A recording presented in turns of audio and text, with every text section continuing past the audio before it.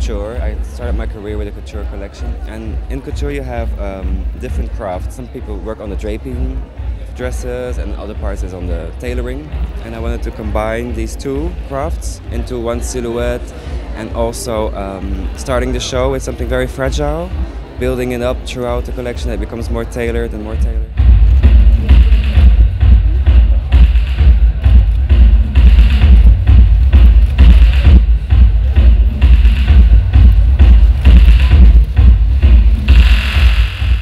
Season, it was more about the craft and the technique.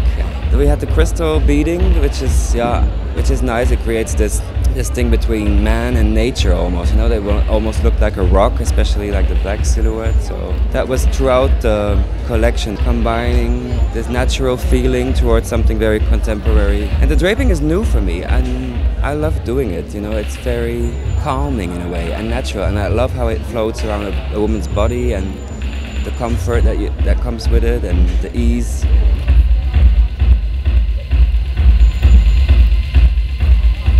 For me, it's more about shape than color this season.